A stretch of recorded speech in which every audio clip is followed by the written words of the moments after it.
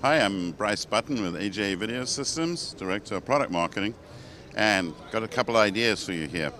If you've bought a new Mac Pro, right, or you're looking at it because it's an incredible machine with an incredible amount of power, or even you have a new iMac, you want a Thunderbolt device that's going to help you deal with 4K, help you deal with multi-channel HD if you need it for your I/O needs.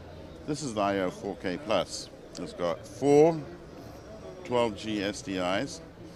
It's got HDMI in and out, so you can both capture from HDMI as well as spit out. It's got audio connection if you're dealing with analog.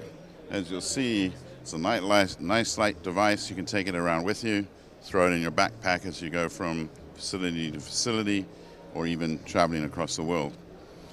So this will allow you to deal with 4K, HD workflows, all sorts of things for your video needs, whether you're editing, doing graphics, color correction, etc. If you want to learn more about the Io 4K Plus and Thunderbolt in general from AJA Video Systems, simply go to aja.com, take a look at our solutions pages, and you'll see that we have a whole swath of devices to help you out.